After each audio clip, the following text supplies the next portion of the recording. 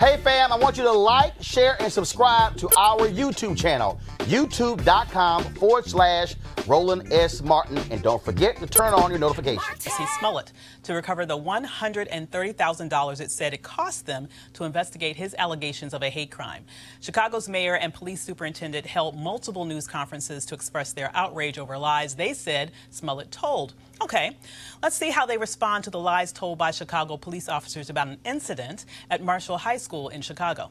The officers filed a police report that said a student at the school kicked, bit, and spit on the officers, and that her actions led the two officers and the student to fall down a flight of stairs. In the arrest report, the officers said the student, 16-year-old Dnigma Howard, quote, initiated a physical altercation with the officers. Yep, there is video. So let's see how the officers' stories hold up. There is no sound, but the pictures will tell the story all too well.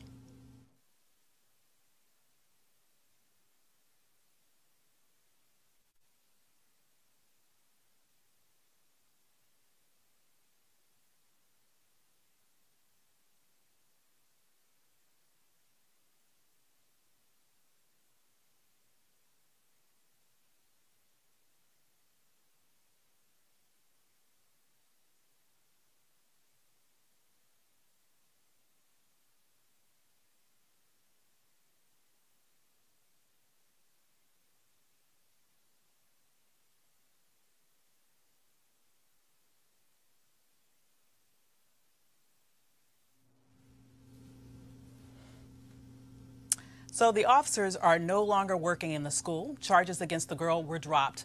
The family is suing, and there is body cam footage still to come. We'll keep you posted. So joining me on the panel here in our studio is communications strategist Kelly Betha, CJ Jordan, CEO of the Jordan Management Group, Joseph Williams, senior editor of the U.S. News and World Report, and on Skype from Philadelphia, we have Teresa Lundy, founder of TML Communications. All right, so the New York Post. Should we? should, I guess we take a second to talk about that. You know, I, you know, when I look at that particular. Um, video footage, and we see once again, time and time again, examples of police telling one story in police reports. But when evidence pops up, there's something completely different. It makes you wonder, with all of this righteous indignation that's going on with the Jussie Smollett case, when will Chicago sort of sort of wake up to what really needs to be done in that police department to root out uh, the huge dysfunction and injustice that's become a part of the system in that city and beyond. What are your thoughts? I'm really speechless you know, because this happened to a child. Mm-hmm. We're not talking about, you know, a grown man, a grown woman. We're talking about someone's baby. She's 16 years old. She was in a school setting. And from the looks of that video, it didn't look like there was any altercation between her and the officers at all before they threw her downstairs. And my issue with this is not only the over policing of our black children in schools, but the the dissociation that these officers have when it comes to exactly who these children are. I'm sure that a lot of these officers have their own children or know people with children. They wouldn't want anybody treating their child like that or their niece or their nephew or their brother or sister. So what makes you think that you have the agency to do something like that just because you have a gun strapped to yourself? Mm -hmm. it, mm-hmm. it's, it's absurd. Absolutely. What are your thoughts? Well, I think that the more things change, the more they say the same, right? Mm -hmm. I mean, they could probably sue Jussie Smollett, and the money that comes in from that lawsuit will go to pay out the parents of this young girl. And it's not anything that we haven't seen before, so I wish I could say I was shocked. I mean, certainly the pictures are, the images are just breathtaking, but mm -hmm. I mean, mm-hmm. we've been here before. And with as many school resource officers, cops, whatever you want to call them, in schools, this is one that happened to get caught on, on film. Mm -hmm. I mean, we know this sort of thing happens probably every day in at least, you know, a handful of schools around the country. Mm -hmm. This is one we see, right? Yeah. And coming on the heels of the Jussie Smollett uh, uh, case, which in turn came on the heels of a lot of Chicago police officers, the Quan McDonald verdict, and uh, a situation in the Chicago Police Force a couple of years ago where it was discovered that they had secret torture sites yeah. where they would drag victims to it's not that surprising to me that Chicago cops would get uh, caught on camera doing something like this to a child. And it's also not surprising to me that we don't see any outrage from the mayor or from the chief of police beyond a rote statement. Absolutely. So, Teresa, I'd love to bring you in on this. You know, when you when we talk about this issue, as was mentioned previously, of these so-called resource officers in schools uh, that are literally abusing and attacking our children, as part also of a sort of system of repression, of violence, uh, of just complete dysfunction in the Chicago Police Department. You know, what are parents to do when we are in situations where we're trusting our, our children to get a safe education and we find out that their attackers are actually the ones who are there supposedly to protect them? And that's putting uh, us actually in a really hard position, right? So, parents, loved ones of those uh, that we entrust to educate um, the students uh, without putting excessive force seems like um, almost the norm for them um, to uh, not not make not, seems like the norm for everyday violence for African Americans, right? And so, and so I, I see this case as another incident that the police department, um, obviously, you know, with the Jussie Smollett case, wants to really undermine some of the uh, outer layers of, of what's actually going on in the department. And let's just be honest, this is going on in departments across uh, municipalities, across cities, across the country. So I think an overhaul review and an analysis of best practices um, and training of what's going on in the office would really start to, to, to change um, the mindset of some of these officers if uh, city government actually uh, uh, takes charge um, and does something different. But see, Ava, I have to tell you, I mean, we've been here before so many times. Mm-hmm. Yeah. And training, Chicago police has been under consent decree, they've been out of consent decree. Training has not been the issue. I It mean, sure they can hasn't. train up, they can train up uh, police officers, and yeah, it's a good step, it's a first start.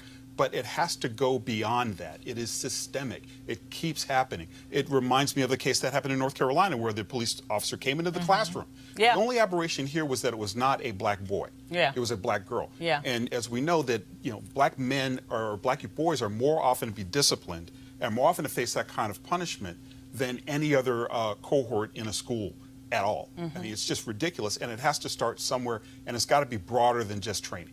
Well, what I think is interesting, though, if you look at what's going on with the Jussie Smollett situation, you know, to me, why not use that as a standard bearer? I mean, if you're saying that he needs to pay out a hundred and some plus thousand dollars because of the lost man hours with regards to his lie, uh, the, the city itself has paid out over a hundred million dollars in lawsuits to families who have been victimized by police violence, and not one cop has paid a dime to reimburse the city for those millions of dollars. If they want to set a precedent with, with Jussie, shouldn't they also live by the same precedent under these circumstances? I think that's a very fair argument. I don't think it's necessarily going to happen because, in the grand scheme of things, what it looks like is that it's almost cheaper to pay out uh, a settlement between, you know, the uh, between the plaintiff and Chicago police than it is to actually reform the entire department. And that's a sad thing to say, but that's what it's looking like. A hundred million dollars plus, you know, compared to the billions of dollars that you're having to invest in an entire police department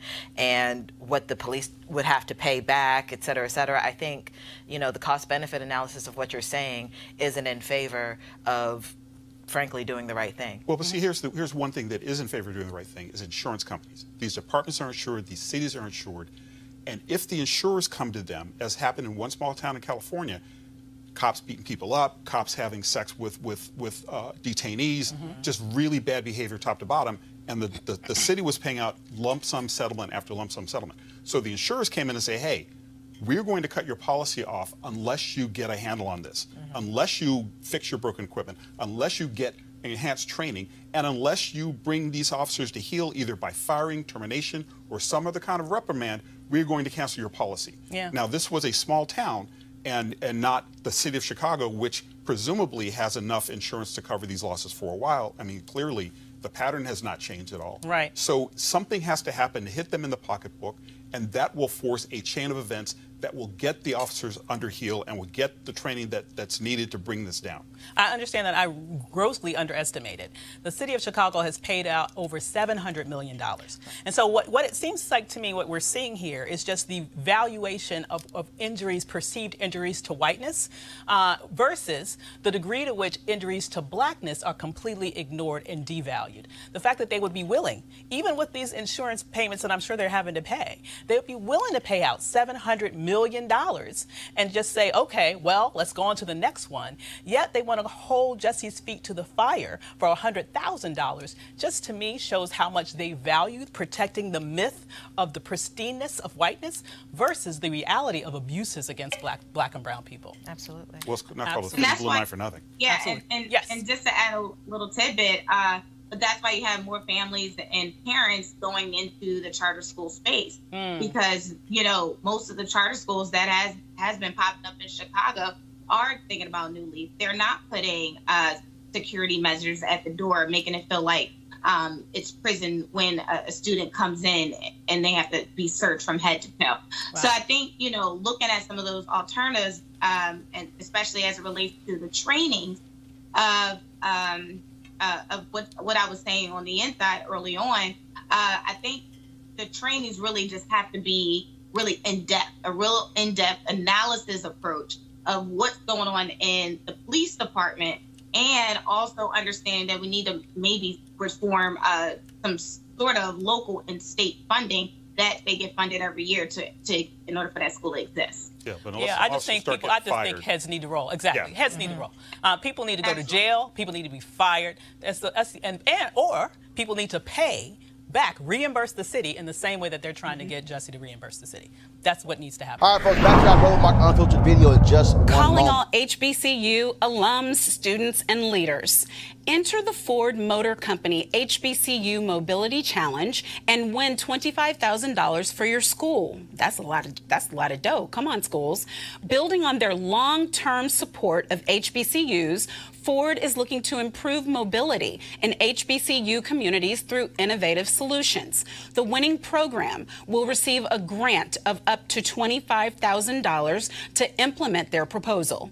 The deadline to apply has been extended to April 15th, 2019 go to fgb.life for more information and to apply. Ford goes further in our community. Now back to your Roland Martin Unfiltered video.